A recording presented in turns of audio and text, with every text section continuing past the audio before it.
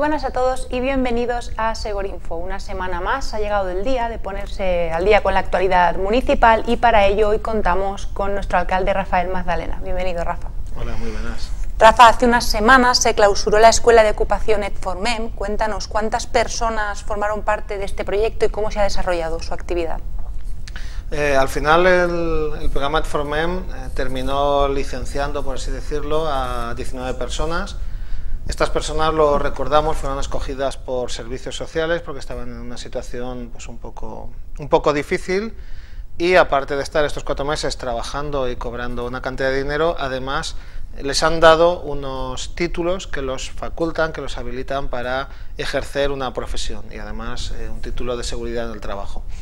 Eh, lo que estaban trabajando era en la parte de, viveros y de plantas ornamentales y en la parte de creación de jardines y para ello pues han tenido que eh, asistir a unos módulos de unos módulos de formación que han estado en la EPA, unos módulos de informática, unos módulos de, educación básica y además eh, todos los módulos teóricos de jardinería o de viveros y además han realizado las prácticas en la escuela, en, perdón, en la ladera del Argen. Entonces, pues bueno, hemos aprovechado que habíamos limpiado y y un poco pues quitado toda la maleza que había en aquella ladera y ellos han estado realizando tareas de eh, plantación de, plantas, preparación de riego, eh, toda la parte de muros y de contención la han estado revisando, con lo cual pues bueno, con las prácticas nos han ayudado a mantener toda aquella ladera que, originalmente pues estaba bastante mal y después de la limpieza y el ajardinamiento pues bueno, es un espacio que, que pretendemos recuperar para Segorbe se va a continuar trabajando en el paraje del, del Argento. Sí, sí, nuestra idea, pues bueno, ya decimos que esto al final empezó con un, con un sistema, o perdón, con un proyecto de limpieza de, interfaces monte monte ciudad, ¿no? Eh, interfaz monte urbano que había, en el cual se limpiaba para prevenir incendios. Después de esa limpieza, pues hemos visto con la escuela Formem que nos está dando unas posibilidades de crear ahí un espacio verde bastante bonito pues tanto para los vecinos y la gente como vaya a pasear, como desde el punto de vista paisajístico, pues toda la visión que cuando uno viene de, la parte de Teruel por la carretera vieja, pues toda la visión que se van a tener de Segorbe y vamos a seguir trabajando para consolidar esas zonas ajardinadas, para ir manteniéndolo, ir mejorándolo, de tal manera pues que al final dispongamos ahí de un espacio pues para pasear, para pasear con los perros, para hacer sendas para que la gente que vaya pues pueda andar corriendo por una punta y salir por la otra o paseando y tener ahí un espacio eh, yo creo que, que muy bonito para esa parte del casco viejo de Segorbe. Una iniciativa muy interesante es la ayuda que está prestando el Instituto Valenciano de Administración Tributaria a los ciudadanos de Segorbe y de la comarca para elaborar la declaración de la renta. Eh, ¿Cómo valorarías esta, esta iniciativa y qué tienen que hacer las personas que estén interesadas en recibir esta, esta ayuda? Pues esta iniciativa yo creo que es muy importante. Ahora mismo, pues tal y como está el mundo, pues parece ser que todas aquellas personas que, que tienen ordenador e internet, pues parece que lo tienen todo muy fácil y las personas que, que, no tienen ordenador o que no pueden acceder a todos esos recursos, pues parece que lo tienen más difícil para hacer la declaración de la renta. Y esta iniciativa de, de Hacienda de la Generalitat Valenciana ha sido poner aquí una oficina, que la atención es comarcal, para ayudar a todas aquellas personas que lo pidan a hacer la declaración de la renta. Yo creo que es, que es necesario porque eh, estamos en una comarca, pues están hablando mucho del interior, que hay que cuidarlo, que hay que prevenir la despoblación, pero si no nos dan servicios, al final la gente pues tendría que coger el coche y bajarse a, a Valdusó, Villarreal o donde esté la oficina de Hacienda más próxima a hacer la declaración o que le ayudaran, o bajar a Valencia o a Castellón. Y bueno, esta es una manera de acercar esos servicios al territorio y que la gente pues pueda seguir teniendo en su territorio, pues en este caso aquí en Segorbe, toda la comarca, ya no hace falta que se desplace tan lejos, viene Segorbe, un servicio para ayudarnos a realizar trámites administrativos que además pues eh, tienen cierta complejidad, ¿no? Y hay personas que yo no tengo ni idea de economía y muchas veces buscas un asesor o buscas a alguien, pues bueno, para personas que no tengan así eh, que tengan pocos recursos o que no tengan mucha idea de economía, esto les va a venir muy bien.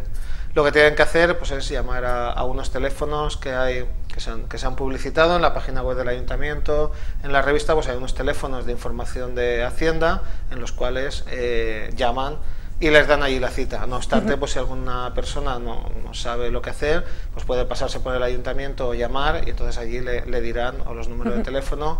o le ayudarán a gestionar, eh, le ayudarán a gestionar la cita. Ahora mismo pues está, van a estar durante durante aproximadamente un mes más en la EPA, en, el edificio Glorieta, y allí pues tienen las, las, salas donde, donde tres personas están haciendo las declaraciones. Y como digo, es una idea muy buena, sobre todo para las comarcas de interior, que muchas veces nos quejamos de la despoblación y de la falta de servicios, que hayan tenido esa iniciativa de acercar un servicio que, que no tenemos a zonas de población, también con población más envejecida o más mayor que tiene más dificultades en moverse para ayudarnos a dar un servicio que obligatoriamente tenemos que hacer todos. El pasado pleno eh, ordinario se aprobó el proyecto para solicitar la subvención del Plan 135. Uno de los objetivos es tener una, hacer obras para tener una ciudad más accesible. ¿Por qué habéis apostado por esta, por esta idea? Sí, hasta los dos años pasados, estos dos planes, pues al final se dedicó se ha dedicado a hacer una calle, todavía está en marcha la de Jimeno Hughes, en la cual pues, se coge todo un tramo de, calle o, varias calles y se arregla, pero también habíamos detectado que hay determinados puntos calientes por Segorbe en los cuales pues, las farolas están en medio de la acera, eh, los bordillos son muy altos y, para bajar un paso de cebra eh, son un inconveniente. Eh, determinadas zonas que están perjudicando la accesibilidad con carritos, con paraguas para personas mayores, etcétera. Entonces lo que hemos hecho ha sido, eh, sabemos que hay muchos, no vamos a poder llegar a todos, pero sí que ir, eh, los técnicos de urbanismo han ido paseando por Segorbe, han ido buscando esos puntos, ha habido vecinos que nos han mandado eh, quejas y sugerencias, entonces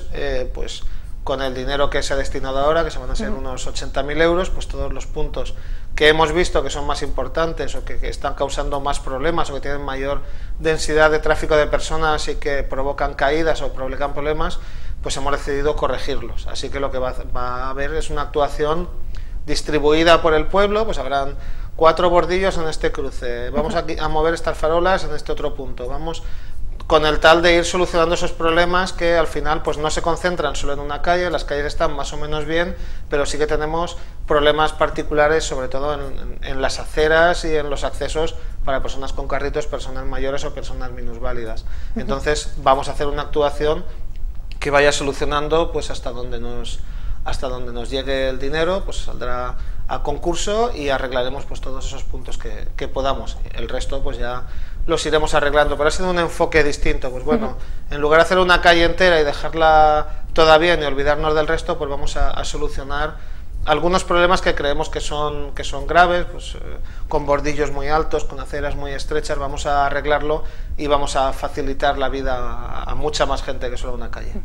Otro de los proyectos para los que se ha pedido subvenciones para modernizar los polígonos industriales, ¿qué cantidad se va a invertir y en qué actuaciones concretas? Eh, se va a invertir una cantidad pues, que está, mm, dependiendo de la subvención, entre 400 y 700 mil euros. Es una cantidad bastante importante. Lo que sí que tenemos claro es que si queremos generar riqueza en la comarca y en el pueblo, pues tenemos que, tener algún motor económico, no podemos ser solamente una comarca de servicios en la cual pues la gente salga o ofrezcamos servicios, sino que tenemos que, que generar algo. Tenemos bastantes polígonos industriales, algunos de ellos bastante antiguos, ¿no? pues estamos acordándonos de la entrada por la carretera, la avenida del Mediterráneo, o en La Esperanza, la parte vieja, y luego otros polígonos más nuevos. Y lo que queremos hacer es eh, pues, eh, hacerlos más competitivos. Por ejemplo, vamos a aquellos a los que no les ha llegado todavía la fibra óptica. Para las empresas hoy en día las comunicaciones son muy importantes. Pues bueno, llevar la fibra óptica hasta el polígono del SEPES y el polígono de la Esperanza, que era una reivindicación que tenían desde hace tiempo, eh, regular toda la parte de, de, vertidos, que hay polígonos que, bueno, pues como han ido creciendo de una manera poco ordenada, son polígonos que tienen muchísimos años, pues no tenían muy bien toda la parte de, de, desagües, pues vamos a, a, rehacer todo el todo el alcantarillado y también pues toda la parte de eficiencia energética, toda la iluminación de los polígonos que se gasta muchísimo dinero, eh, pues pasarlo a iluminación LED y ser más eficientes y además ahorrar dinero. Lo que hicimos fue eh, ponernos en contacto, pues por ejemplo, con la entidad de conservación del polígono para preguntarle, bueno, pues vamos a pedir una subvención, qué necesidades tenéis, qué es lo que más os podía ayudar y luego también en algunos polígonos que tienen, eh, que son exclusivamente responsabilidad municipal, pues hemos ido detectando los problemas que tenían estamos pendientes de, la cantidad que nos den, esperamos que nos den el 100% y si nos lo dan todo, pues bueno, pues, eh, el ayuntamiento aportará, pero sí que lo que queremos es hacer que las empresas pues, eh, sean más competitivas, funcionen mejor y ayudarles un poco pues, a cumplir toda, toda la normativa, pues, bueno, regularizar todo el, todas las aguas, todos los desagües, todas las pluviales, eh, etcétera. Es decir, hacer un poco, eh, fomentar que la empresa que se instale en esos polígonos pues, tenga la mayor parte de los, de los servicios que puede tener una empresa en un polígono de, de una gran ciudad. En el último Segorinfo que grabamos después de que tuviese lugar el pleno ordinario y hablamos del conservatorio, recuérdanos qué problemática hay en torno al conservatorio y qué actuaciones se han tomado desde entonces. El problema que tiene el conservatorio es que es un conservatorio exclusivamente municipal, es decir, lo paga todo el Ayuntamiento de Segorbe. Hasta ahora, pues eh, tiene aproximadamente un coste de 435.000 euros al año, que es un coste importante y había una subvención por parte de Diputación de 60.000 euros y otra por parte de Consellería de 70.000. El resto pues se cubría con las matrículas o, lo pagaba directamente pues, de, los fondos públicos del Ayuntamiento de Segorbe. Lo que ha ocurrido es que cada vez Consellería va reduciendo más la, la subvención y Diputación directamente la ha quitado. Es una lástima porque ahora mismo, pues eh, tras eh, la noticia de que Consellería eh, va a asumir el Conservatorio de Benicarló, somos el único mm. conservatorio municipal mantenido con fondos municipales de la provincia de Castellón que, que, lo lleva un ayuntamiento y que no lo lleva la consellería. Tengamos en cuenta que esta es una enseñanza reglada, es una enseñanza oficial, como puede ser pues la enseñanza primaria o o, la ESO, pues bueno, las enseñanzas de música son enseñanzas oficiales. Por tanto, lo que estábamos reclamando siempre, venimos reclamando, es que Consellería asuma por lo menos el personal. El edificio lo mantendremos nosotros, pero Consellería que asuma el personal, que es la parte más importante. Además, pues siempre le estamos pidiendo,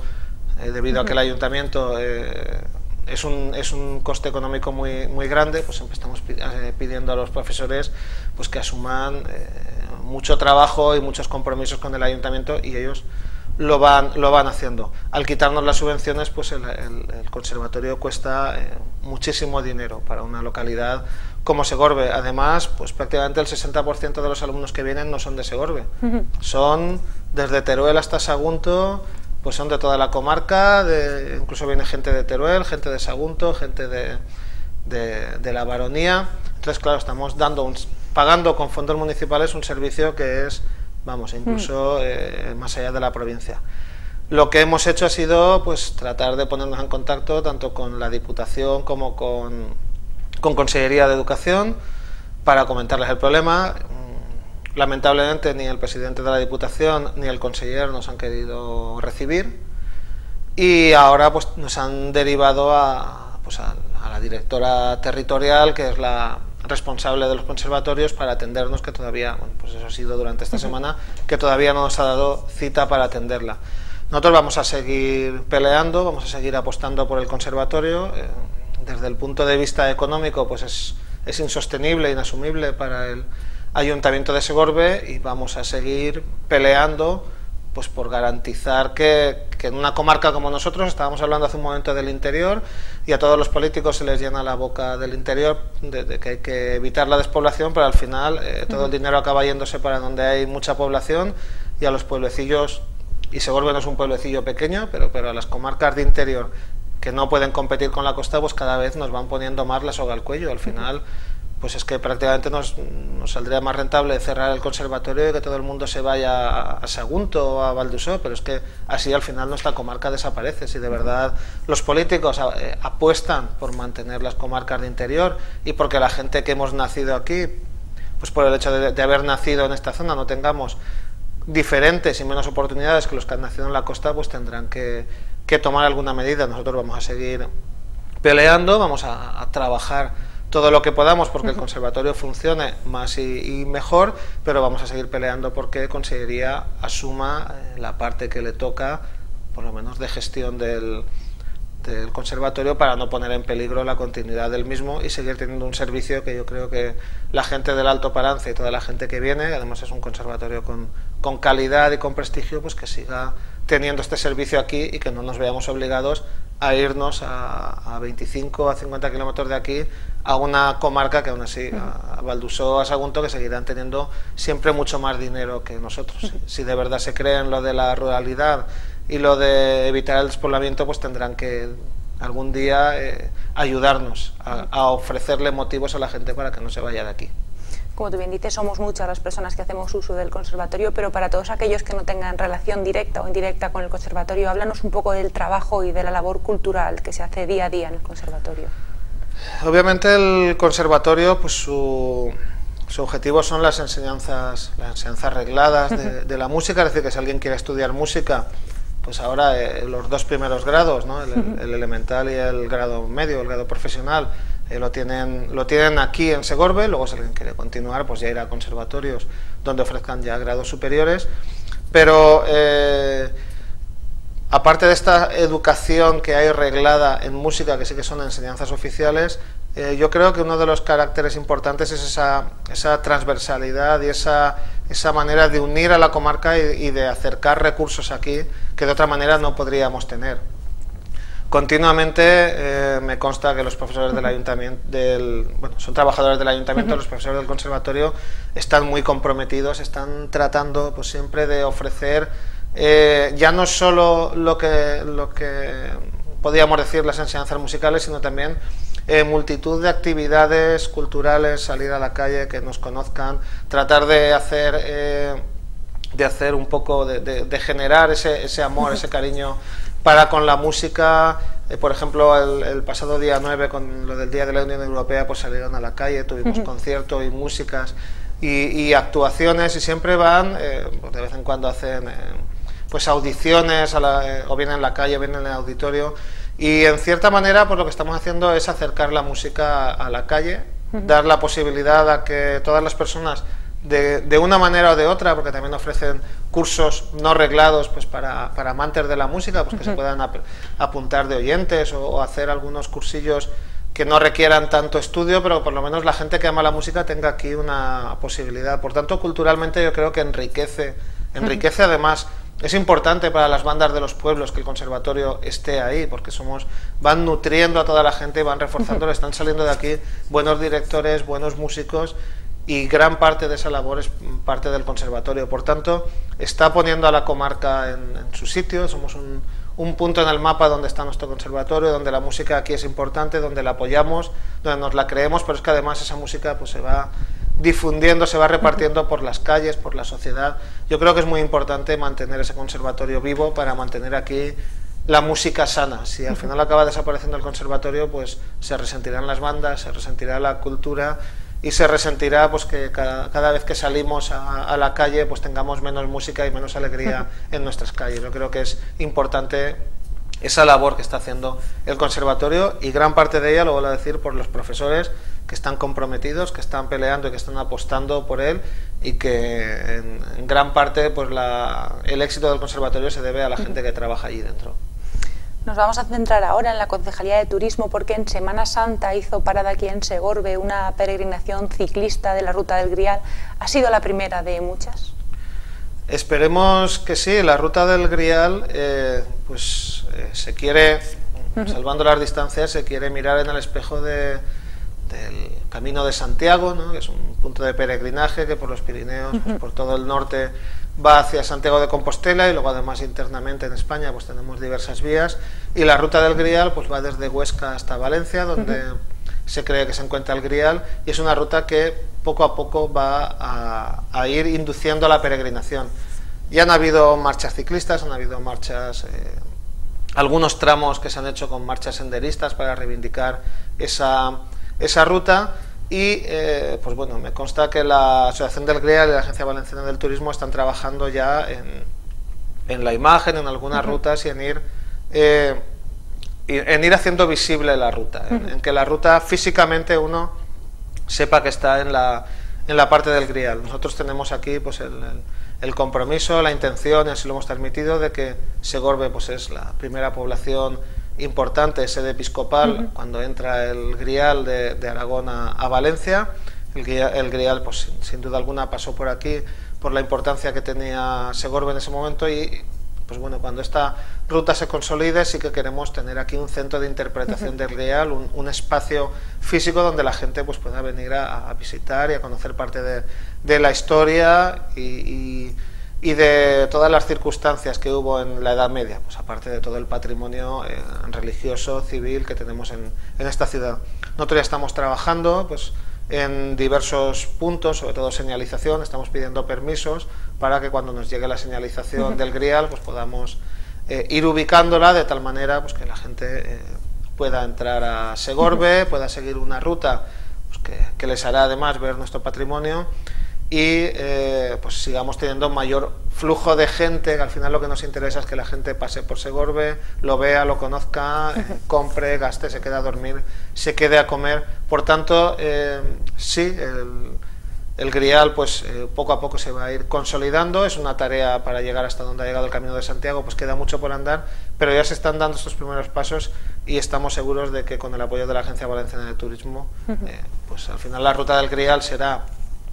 un atractivo importante de todo ese turismo que hemos hablado, tanto religioso como cultural, desde, desde Aragón hasta Valencia, pero es que además Segorbe será un punto muy importante a media hora de, de Valencia, que es donde está la sede del Grial y que acoge muchísima gente, pues un punto muy importante en esa ruta y además por cercanía podemos, podemos recibir muchísimas visitas. Y por último, la semana el fin de semana pasado se celebró el mercado medieval. Cuéntanos, Rafa, cómo transcurrió. Pues eh, fue muy bien, el tiempo nos acompañó, casi diríamos que nos acompañó. La verdad es que de todos los mercados medievales que recuerdo, pues es uno de los que mayor afluencia había. Por fin en este mercado medieval no llovió. Y eh, pues bueno, quizá el, el sábado por la noche pues hubo un poco de viento, se llevó alguna carpa y lo hizo más desapacible, ¿no? Y bueno, quizá eso ensombreció un poco eh, toda la buena tarde de la, mañana y la buena tarde del sábado y lo que hubo el viernes y luego el domingo pues hubo un poquito de actividad. Este año además pues participaron muchos niños a los que les doy las gracias por participar, a ellos y a los papás, animamos a que los papás al año que viene también se disfracen y hagan y hagan más fiesta. Y, la, reina María de Luna y nuestra reina, bueno, nuestra reina es Ángela y Alba, pues les, les, dieron un pequeño detallito para que entren al Segobriga Par todos los niños y los llamaron uno a uno para que vinieran, estuvo, yo creo que estuvo bonito y agradable. Luego además montamos un escenario en la plaza donde eh, Inma Muñoz con su academia de baile, pues los bailes que antes nos ofrecía en, en la calle, pues bueno, los, los hicieron en la plaza, pero luego ya se subieron al escenario, la gente los vio mucho mejor, lució mucho más. Y ya que teníamos el escenario, pues aprovechamos también a la Orquesta Fusión, que por la noche pues dio un concierto. Ahí no pude asistir porque yo tenía la comunión de mi hija, pero, pero espero que estuviera muy bien. Me quedé con las ganas. Y bueno, pues eh, estamos, yo sé que hubo, la, la, olla fue un gran éxito, pues toda la cetrería, todas las la gente que había organizado toda la ambientación medieval, la verdad es que este año estuvo muy bien, había muchísima gente y la gente acompañó y bueno, pues tenemos que seguir trabajando en, esa feria medieval, animar a que la gente la haga suya, se disfrace y participe y bueno, pues a los niños y luego los papás. Y luego también pues eso, por, el sábado por la noche ya hubo un pequeño acto ¿no? y la gente ya tenés una excusa para salir, acercarte a la feria medieval, alargarla un poco y además pues hacer una feria eh, familiar, entrañable, eh, se puede comer olla cuando además, pues eso, por la noche que, hacía un pelín de fresco, pues estuvo, yo creo que ha estado muy bien, mucha gente y, bueno, pues a seguir trabajando en esa línea. Bueno, Rafa, como siempre, antes de despedirnos, si quieres añadir algo más. Nada, eh, pues seguimos trabajando y, seguimos animando a la gente a que nos, que nos diga, pues eso, que la gente te, te pare por la calle, nos diga las cosas que que le preocupan, las cosas que le molestan, porque nosotros estamos aquí para intentar pues cada día aprender un poquito más, mejorar un poquito más y hacer que Segorbe pues cada día sea una, una ciudad más moderna y que todo lo que uno desearía tener para,